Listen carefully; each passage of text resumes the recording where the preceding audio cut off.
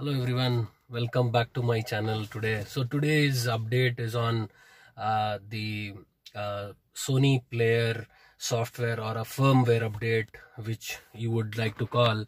So in previous video you have seen detailed how i have done that. This is a latest release which has happened from uh, 1.23 to 1.25 earlier it was 1.2.1 so if you have if you have not seen that please do that. Or if you have not done any updates uh, previously so what you can do is you can do this firmware update. So technically so you can see there is a new firmware update for uh, Sony XAV AX1000 so let me download this. So if you have not watched my previous version you can just check on the previous so I'll just click on accept read the license.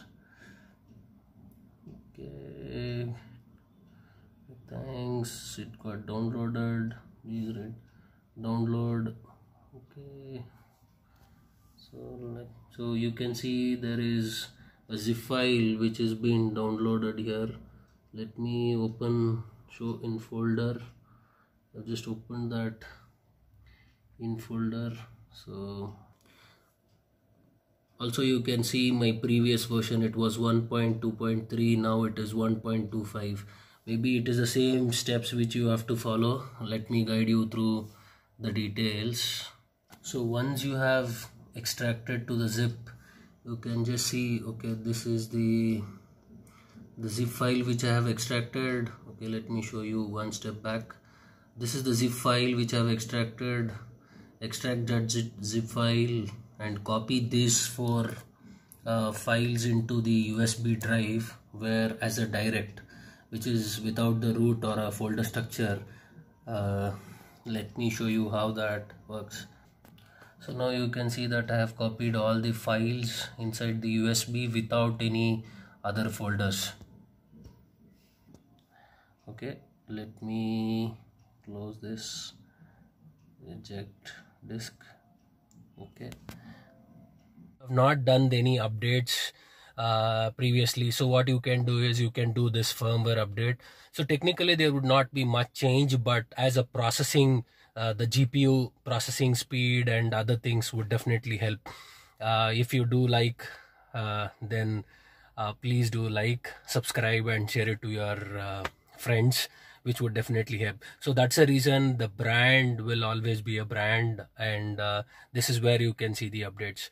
So i've made it in little dark. So let me let me go to the settings. So if you go to the settings uh, if you go to the settings you can see that under general okay then uh, firmware version. So firmware version is CPU and uh, 1.23 and MCU is 1.23 so the update is required when uh, with the latest one which I have shown as a download or a firmware update. You can just see this is 1.2.3 as I mentioned.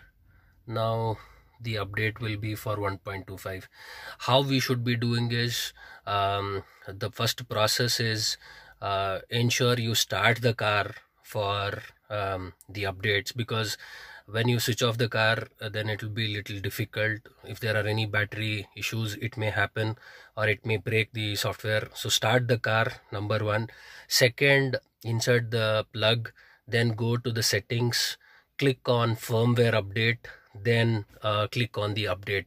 So once the update is done automatically the installation steps will start and update which will increase and I will show in my video. You can see I have started the car and the car is in idling position. So what I have do is I'll just connect the USB uh, the firmware update which I have downloaded. Now you can see that I have connected the USB so go to home then scroll to the settings then click on general then click on uh, the firmware uh, firmware version sorry. Click on firmware version then you can see there is an update. Just click on the update. So now you can see new firmware update uh, new firmware version. CPU is 1.25 and 1.25 click on update. So it says do not shut down uh, the system uh, there is an update which is going on. Uh, this is the update which is happening. So you can just wait and watch. Uh, the updates are in progress. You can see the update is going on.